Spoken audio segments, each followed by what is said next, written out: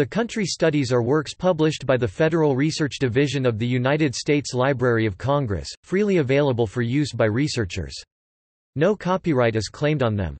Therefore, they have been dedicated to the public domain and can be copied freely, though not all the pictures used therein are in the public domain. The Country Studies series presents a description and analysis of the historical setting and the social, economic, political, and national security systems and institutions of countries throughout the world. The series examines the interrelationships of those systems and the ways they are shaped by cultural factors.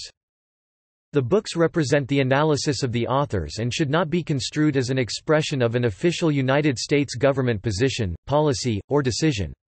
The authors have sought to adhere to accepted standards of scholarly objectivity. Online information contained in the online country studies is not copyrighted and thus is available for free and unrestricted use by researchers. As a courtesy, however, appropriate credit should be given to the series. Hard copy editions of all books in the series except the regional studies on Macau and Afghanistan can be ordered from the Superintendent of Documents, U.S. Government Publishing Office at the U.S. Government Bookstore. The last appropriation for the program was in fiscal year 2004. In response to this one-time infusion,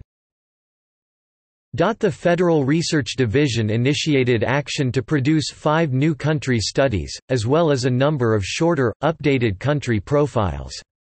All of that work continues, but in the absence of renewed funding, no additional work can be initiated.